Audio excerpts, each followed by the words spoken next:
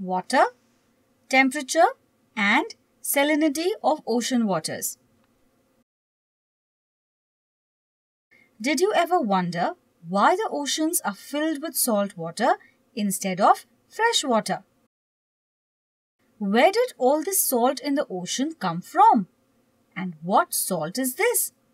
Is it the same salt you find on a dining room table?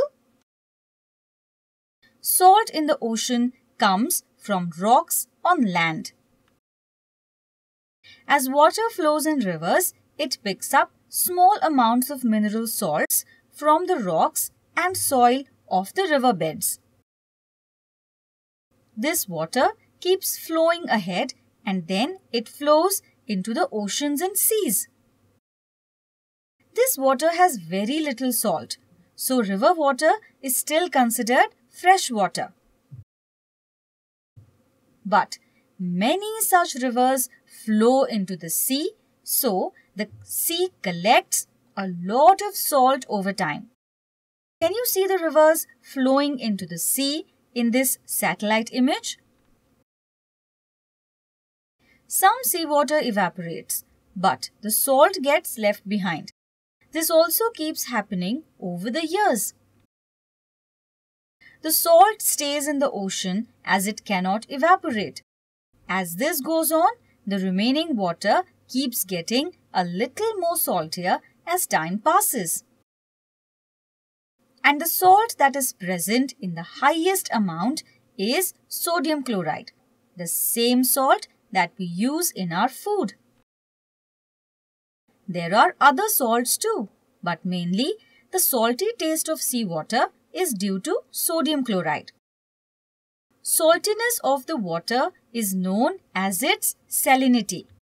If a lot of water evaporates, then the saltiness is more. So, if the rate of evaporation is high, then the salinity is high. When temperature is high, the rate of evaporation is high. So, where temperature is high, then salinity is high. The rain that falls onto the earth also falls on the oceans. Rainwater is fresh water. It is not saline water. As fresh water gets added to the oceans, the saltiness of the oceans reduces. If the rainfall is high in a region, the salinity of the ocean water will be low in that region. Rivers bring salts from land into the sea, but the proportion of salts in the river water is very low. So, when more rivers join the sea, the saltiness of the sea water reduces. So, if the supply of fresh water through rivers is high in a region, the salinity of the ocean water will be low in that region. Icebergs and glaciers that melt also add fresh water to the sea. The polar ice that melts also increases the fresh water supply and reduces the saltiness of water. So, if the supply of fresh water through melting ice is high in a region, the salinity of the ocean water will be low in that region.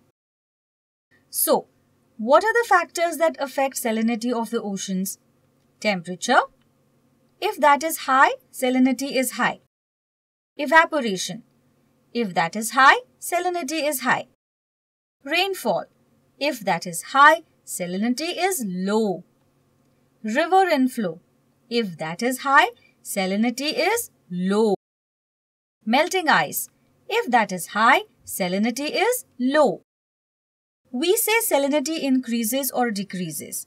That means we should have a way of measuring it. Salinity is measured as the salt present in 1000 grams of water. If 1000 grams of water has 35 grams of salt, the salinity is said to be 35 parts per thousand. This is written as 35 parts per thousand. So salinity of 35 grams per thousand grams of water is written as like this. Look at the sign. It's not just a percentage sign. There is one more circle after it. Percent means per hundred. Since this is per thousand, we add the extra zero. So, percent becomes per thousand. Take a look at the salinity of oceans and seas across the world. Atlantic Ocean 36 to 37 per thousand. Pacific Ocean 34 to 37 per thousand. Mediterranean Sea 38 per thousand. Indian Ocean 32 to 37 per thousand. The average salinity of seawater is 35 per thousand. Lines joining places with equal salinity are called isohalines. The sun shines brightly on the Red Sea throughout the year. There is not much rainfall there and not too many rivers flow into it. So the salinity of the Red Sea is high. It's about 41 per thousand. That's more than the average ocean salinity which is 35 per thousand. The Baltic Sea is closer to the North Pole. Some rivers dump water into it and it receives moderate rainfall. So, salinity of the Baltic Sea is low. It is about 7 per thousand. You know that the average is 35 per thousand. This is where the Dead Sea is. It is very hot there throughout the year and hardly any rivers empty into it.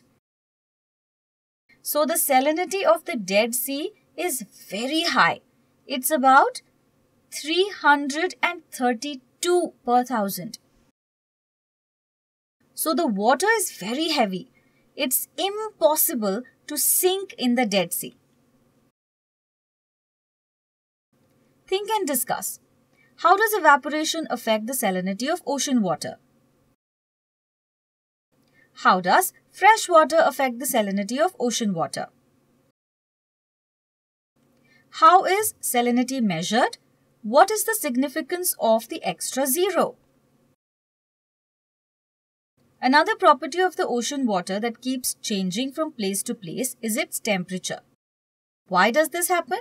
Does this have any impact on other things? Let's find out.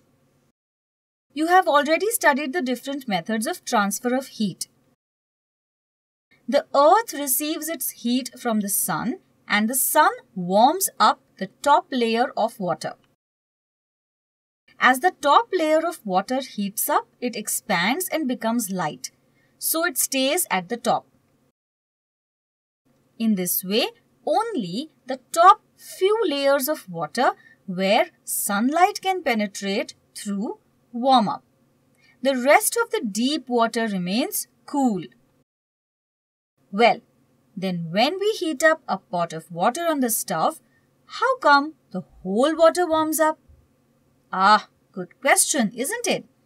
Think, think. What's different in these two situations? The sun heating the ocean water and you boiling a pot on the stove.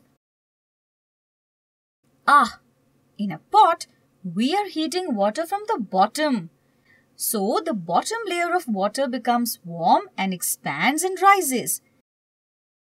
Then the layer on top which is cooler comes down and takes its place. Then that warms up and moves up. So a convection current gets set up and all of the water heats up. When the sun is heating the ocean water, it's heating the top. So the lighter water remains at the top. It's not flowing out anywhere. So, we know that the sun's heat only warms up the top layer of the ocean water. Deep water is always cool. How much heat each area of the earth receives depends on its distance from the equator. This is because the rays of the sun start slanting more and more as we move towards the poles. So as we go towards the poles, the amount of heat received by the earth goes on decreasing. So, the sun heats up the water in the equatorial oceans more than the water in the oceans near the poles. However, all this is just the top layer of water. As we go deeper and deeper in the ocean, the water is all cold anyway. On this map, you can see how the surface water temperature decreases as we go towards the poles. The Arctic Ocean is so cold that most of it is frozen all the time. We call this ice the polar ice cap. As ice is lighter than water, it floats on water. You know this. So, even ice in the ocean floats on top of the water. Now, look at a very interesting and marvelous thing that happens because of this. Remember that ice is lighter than water and floats on top of the water. Also understand that ice is a bad conductor of heat. Now, let's see what happens. Ice is formed at 0 degrees Celsius. So, it gets formed when the temperature of water becomes 0 degrees Celsius.